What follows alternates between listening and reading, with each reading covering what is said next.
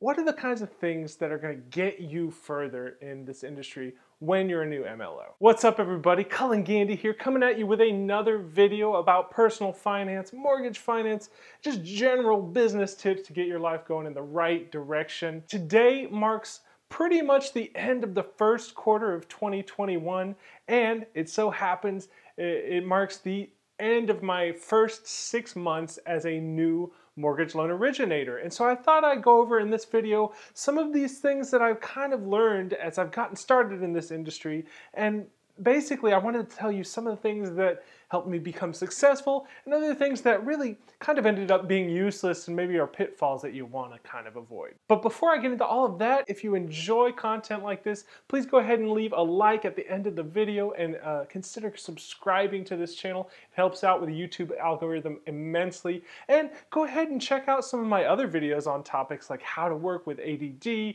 how to sort of break into the mortgage industry, and how to sort of sell people once you're inside because that's pretty much the most most important part of your job. So my transition into the mortgage industry was sort of based out of necessity as I think a lot of people in this period of uh, history can kind of relate to. This time last year marks the beginning of a certain event that YouTube doesn't really like us talking about for ad revenue purposes. Not that that particularly pertains to me having at most usually about 100 views per video over a period of time. But let's just say that there was some kind of major event that makes people stay inside of their homes and a lot of people in the process probably lost their jobs. I was no different. Uh, as a trained opera singer, uh, I sang for a major opera company here in Chicago. And if you're not familiar with the opera industry, uh, a lot of the audience is on the older side, the older persuasion, if you will, of the spectrum of age. So as you can imagine, having a bunch of these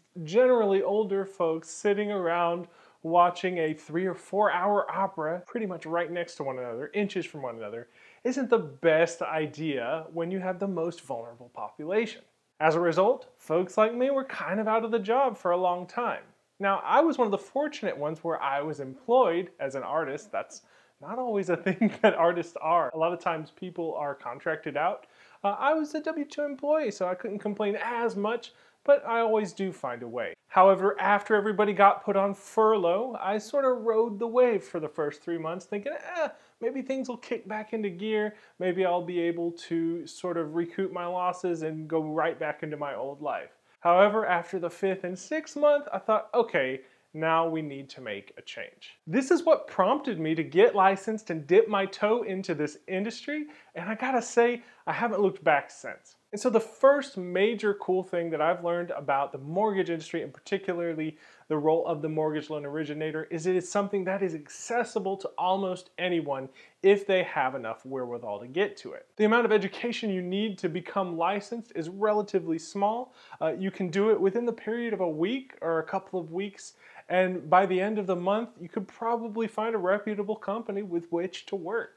And that's actually what happened to me and my girlfriend as well. In fact, my girlfriend Cristal had no experience in sales whatsoever. But these companies, because we are at historically low interest rates coming from the Federal Reserve, uh, are just hiring people, or at least they were hiring people left and right to fill these roles that were desperately needed. But that's not why you're here. If you're watching this video about becoming an MLO or taking the test or doing any of these other things, you're probably already interested or maybe already in the industry.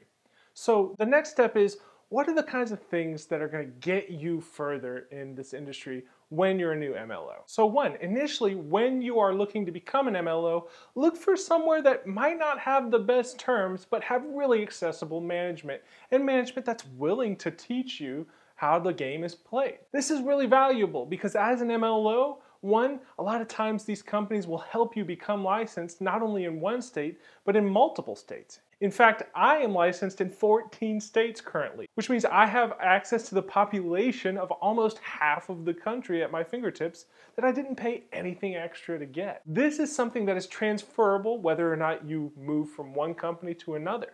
So this also makes you a really valuable asset as a mortgage loan originator in the greater financial industry as a whole. You can transfer to banks, you can transfer into brokers, Uh, you can transfer even to uh, mortgage banks as well. If you have licensure, you become an asset and you almost immediately start hearing from all of these other kinds of recruiters because you have definitely become something that is valuable just by virtue of having access to millions more people than other new MLOs might have. So, the really big one find really good management that's willing to teach you Get as many licenses as you possibly can because that can only benefit you in the long run. And then once you start to work in the industry by calling out and receiving inbound leads, if there are a lot of calls to be had, please just put as much work into it as you want to get out of it because this is an industry where you can become paid relatively quickly. I myself have already gotten to a pay level that has exceeded my former industry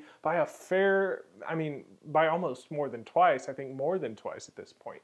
Uh, so you can make a lot of money, and so if you do have a lot of calls to, to make and to take, by all means, you know, take as many as you can and try to lock as many loans and close as many loans as you can because the mortgage industry is really cyclical. Uh, it can have its highs, like right now we are in a mortgage boom, but then, you know, it can have its lows as well, where people aren't really refinancing as much, but you might not be in spring, so there's not that big push for purchase business, and you might just be out of luck for a little while. So while you have the calls to make, go ahead and make them and try to sell those collars. Three, what's really important when you're a new MLO, and I know this isn't going to sound that attractive, but it isn't the amount of money that you think that you can make, whether it be on commissions or whether it be on units, what you're getting back. I know that's sort of counterintuitive because you want to go into the industry to make money, but I think what's more valuable and what's more sustainable long term is if you get into a company and get into the industry with the mindset that you are going to learn the industry for a long term understanding. Because if you end up making a lot of money at the beginning, but uh, as is the case in my situation, you've only done one kind of mortgage, like for us, uh, I've only done refinances that are conventional uh, qualified mortgages, then you're kind of a one trick pony. So you want to get a holistic view of the industry and not be afraid to move around and feel out different kinds of products. And if you're not happy, feel out different kinds of companies.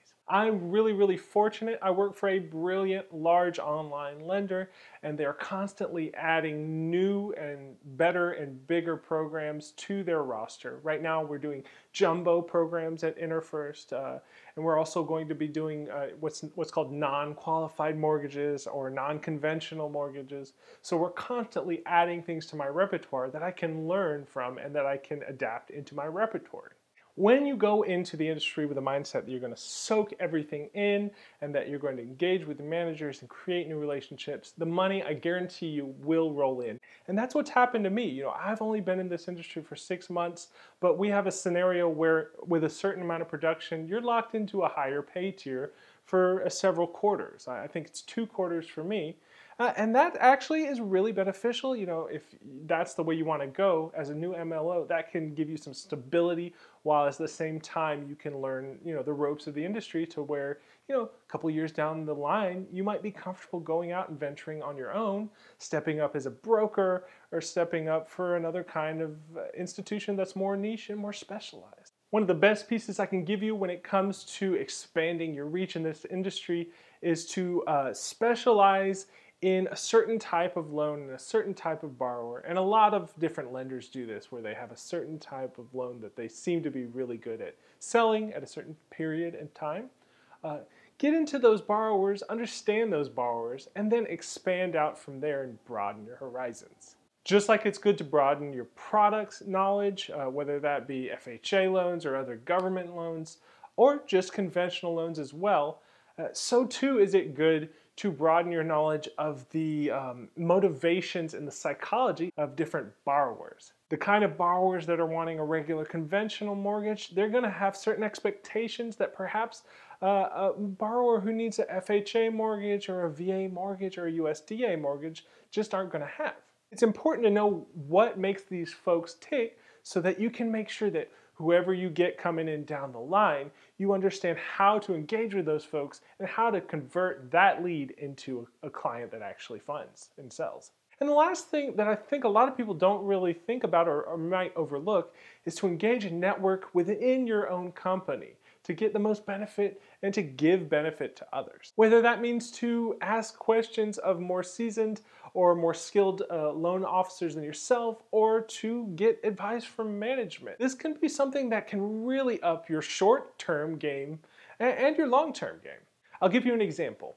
The first day that I got to my company InterFirst, I had a vision. I wanted to set my production to where I was going to receive either the top tier pay or the second you know, tier pay. And that's a pretty ambitious thing to do when you're just getting into an industry and just starting out at a new company.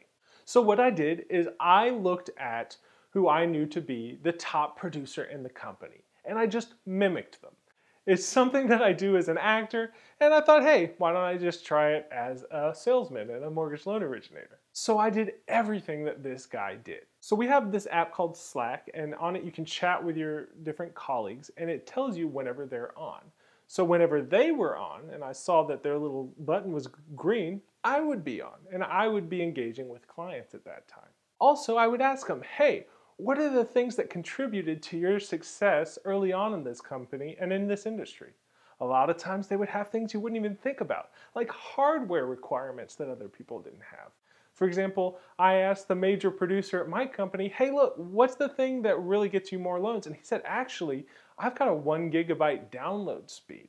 And so for our you know, voice over internet protocol, if you have a faster download speed, then you get the calls first. So I adapted to that. I got a new internet setup and I became the top producer within my pod of salespeople literally within the first four weeks. Don't be afraid to be the squeaky wheel.